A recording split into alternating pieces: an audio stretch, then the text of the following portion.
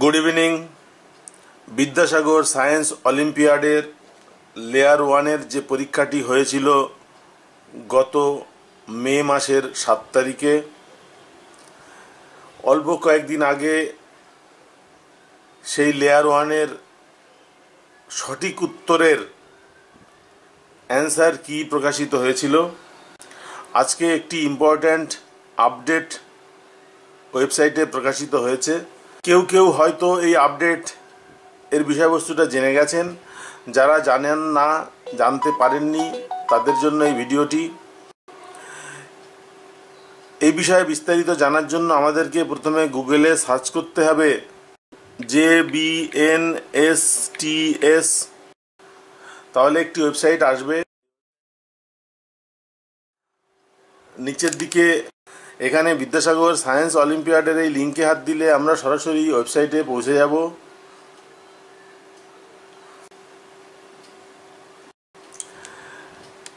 আপনারা দেখতে পাচ্ছেন ওয়েবসাইটে একটি আপডেট এসছে।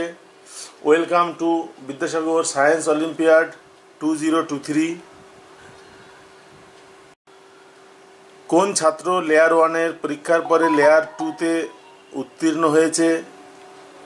কি বেসিসে হয়েছে সেটা এখানে লেখা আছে সিলেকশন ক্রাইটেরিয়াতে যারা thirty percent of total marks minimum পেয়েছে এবং তারপর উপরের দিক থেকে র্যাঙ্ক করে টপ টেন পার্সেন্ট ছেলেমেয়েদেরকে নেওয়া হয়েছে, এই টেন পার্সেন্ট ছেলেমেয়েদের সংখ্যা এক একটা ব্লকের ক্ষেত্রে এক এক রকম হবে।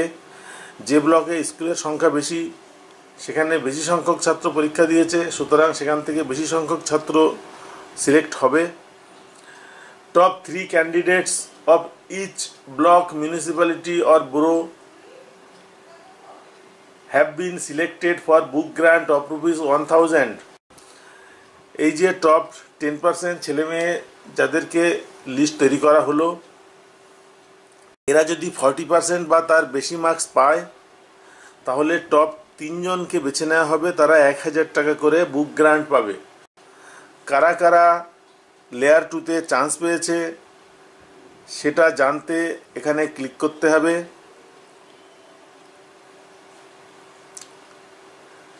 ক্লিক করলে একটি পাতা খুলবে। এটাকে যতটা সম্ভব বড় করে দেখানোর চেষ্টা করছি।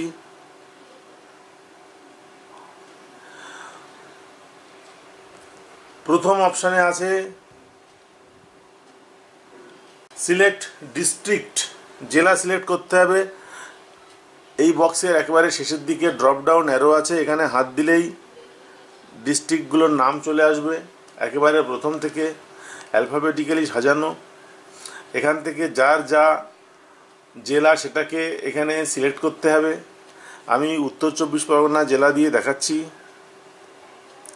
নর্থ টোয়েন্টি ফোর পরগনাস পাশে যে গোলটা আছে, তার মধ্যে হাত দেব, এখানে ক্লিক করব।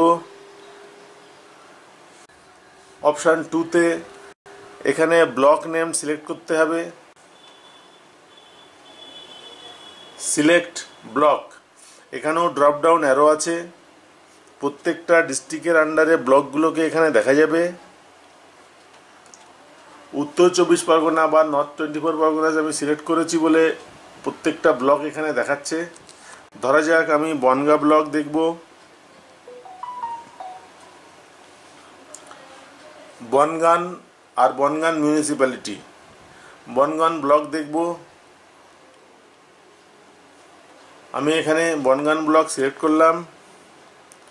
সিলেক্ট করার পরে এখানে ছোট্ট একটা অপশন আছে, ফাইন্ড। ফাইন্ডে ক্লিক করতে হবে। তাহলে বনগান ব্লকের আন্ডারে একটা লিস্ট পাওয়া যাবে। এটাকে একটু বড় করে দেখা যাবে জুম করে।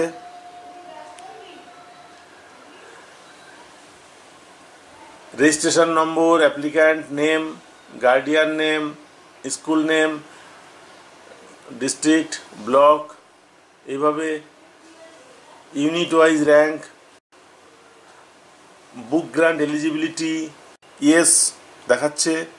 এবং এখানে বলা হচ্ছে লেয়ার টু এর জন্য অ্যাডমিট কার্ড ডাউনলোড করা যাবে জুলাই এর তিন তারিখ থেকে। এখনও এটা আপডেট করা হয়নি। যারা বুক গ্রান্ট পাবে, তাদের ব্যাঙ্ক অ্যাকাউন্ট নম্বর আপডেট করতে হবে।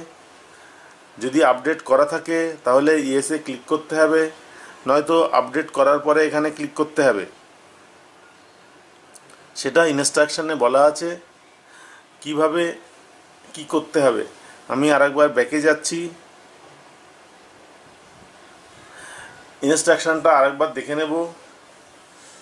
To obtain the book grant eligible candidate should have a bank account in his or her name or jointly with parents or guardians H M or TIC school authority are required to provide bank account details of the candidate who are eligible for book grant by clicking on the yes in the same row of his her name আমি দেখিয়েছি ইয়েসটা কোথায় আছে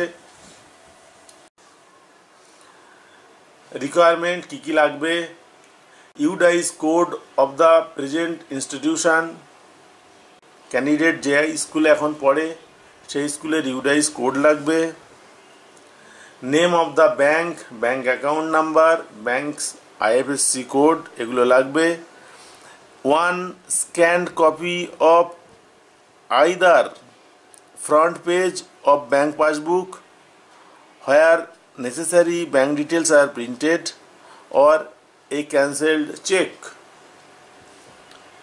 Details of layer 2 examination will be announced very soon in this portal and the admit card for layer 2 examination will available from the same portal.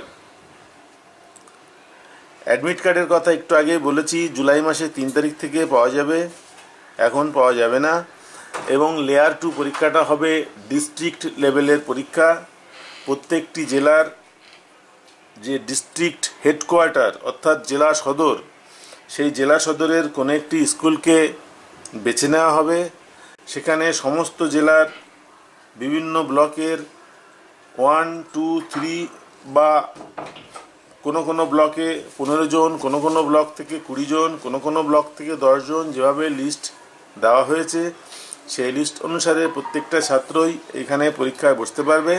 আরেকটি কথা বলে রাখি, সেটা হচ্ছে লেয়ার ওয়ান পরীক্ষার মতো লেয়ার টু পরীক্ষাটাও টোটালি মাল্টিপিল চয়েস টাইপের প্রশ্ন থেকে উত্তরটাকে বেছে নিতে হবে এমসি কিউ টাইপের প্রশ্ন হবে এবং ওএমআর শিটে সেইভাবে পূরণ করতে হবে।